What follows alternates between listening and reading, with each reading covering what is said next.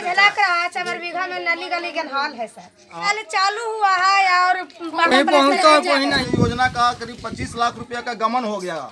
हम लोग देखिए तीन फीट गड्ढा होना चाहिए। कहाँ डेढ़ फीट गड्ढा आने जाने की दिक्कत है और ये अभी गाँव का जो स्थिति है काफ़ी एकदम दुर्लभ भरी बात है जैसे हिलसा के चमरबिघा गाँव में है जहाँ नली गली समस्या से लोग जुड़ रहे हैं ग्रामीण। आइए बातचीत करते हैं।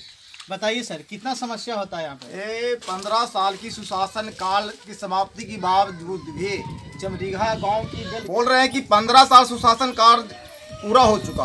उसके बावजूद भी यहाँ सात निश्चय योजना का करीब पच्चीस लाख रुपया का गमन हो गया। हम लोग देख नहीं रहे हैं हम ग्रामीण हम लोग नहीं देख रहे हैं कि पैसा कहाँ गया।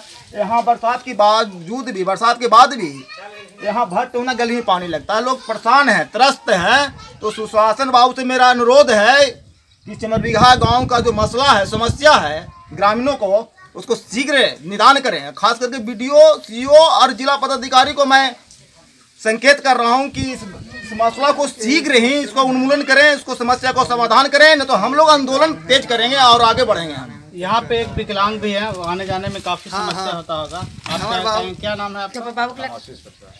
कितना समस्या होता होगा गाँव में आने जाने में? आने जाने में पंद्रह साल से की समस्या समस्या गाँव के भी दिक्कत है नली गली बंद है। अमन गमन आने जाने में दिक्कत है अमन गमन बंद है।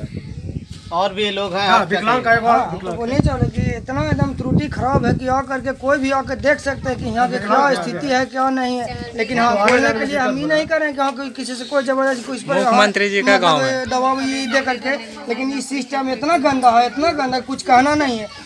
हाँ ये एकदम पूरा एकदम कोई कोई भी गाँव का हाँ एकदम सिस्टम ही गलत है। हाँ एकदम सिस्टम इतना गलत है कुछ कहना नहीं है। हाँ कुछ हाँ वो तो बहुत की चीज़ है। हाँ। दिक्कत तो यही है कि चौरघा गाँव में नली गली में आने जाने का बहुत दिक्कत है। सात जल योजना निकला उसमें सगर काम किया मगर यहाँ पंप भी बैठा। पंप देखिए तीन फीट गड्ढा होना चाहिए। कहाँ डेढ़ फीट गड्ढा एक फीट गड्ढा कहीं पे एक फीट गड्ढा नहीं है। पाइप ऊपर जना कहीं पे कहीं पंप है कहीं कहीं पंप ऊपर जना रहा है। हट गया है। फट गया। और बोलिए। क्या नाम हुआ दादा हाँ। उपेंद्र कुमार पांडे आप बताइए कि गाँव में कितनी समस्या आपकी है? सब तो करीब करीब ये अभी आपके गाँव में आए हैं जहाँ पे रास्ता आने जाने का भी काफ़ी समस्या है। हाँ रास्ता समस्या। तो कैसे आ जाते हैं लोग? हमरा पे ही कंधा करके ले जा रहा है।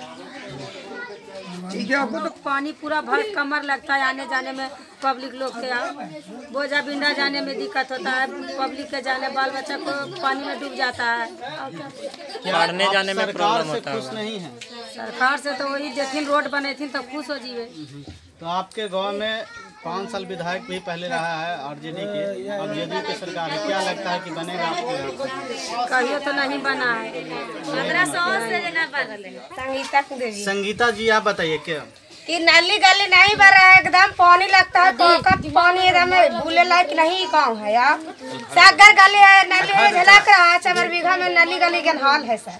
और अथी जल जो है नल नल जल चालू हुआ है और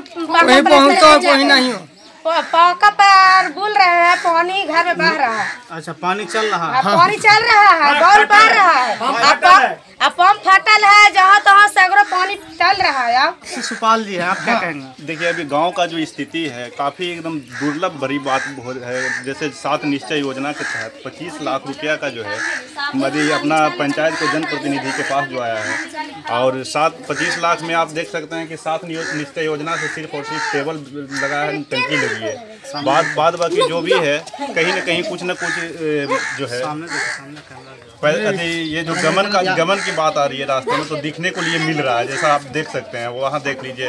हर एक गली हर एक गली नली हर एक जगह वैसा है।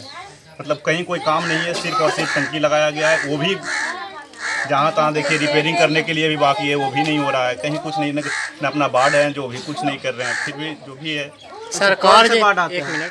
ये वार्ड नंबर चौदह है। सरकार जैसे योजनाएँ निकालती है तो आपके पास लाभ पहुँचती है कि नहीं पहुँचती? ये नहीं ये तो बिचौलिए लोग मतलब नीचे पौधान पर जैसे सीओ हैं बीडीओ हैं जनता आदि ये हमारे पंचायत की जनप्रतिनिधि लोग हैं ये सब करप्ट हैं सारे के सारे करप्ट हैं। आप सरकार से संतुष्ट नहीं है? हकीकत को उभारना नहीं सरकार से आप संतुष्ट नहीं सरकार से हम पूरी तरह से संतुष्ट नहीं सरकार जैसे लागू करती है कि हम बिचौलियों को खत्म कर रहे हैं नहीं ये तो बिचौलियों को खत्म कहाँ कर रहे हैं? आप तो देख देखते देखें ये हाल ही के चुनाव में आपने देखा भी बिचौलियों का क्या खत्म हुआ? खुद बिचौलिए बन गए। जैसे कि चुनाव में तेरा वोट कहीं सात वोट कहीं आठ वोट ये सब कहीं ना कहीं जैसे चुनाव में मेन मुद्दा रखा गया कि बिचौलियों को खत्म करना है तो इससे आप क्या संतुष्टि है कि नहीं है? नहीं इससे बिल्कुल संतुष्टि नहीं बल्कि ये बिचौलियों का आप आप आपस में आप खुद बिचौलिए बन गए।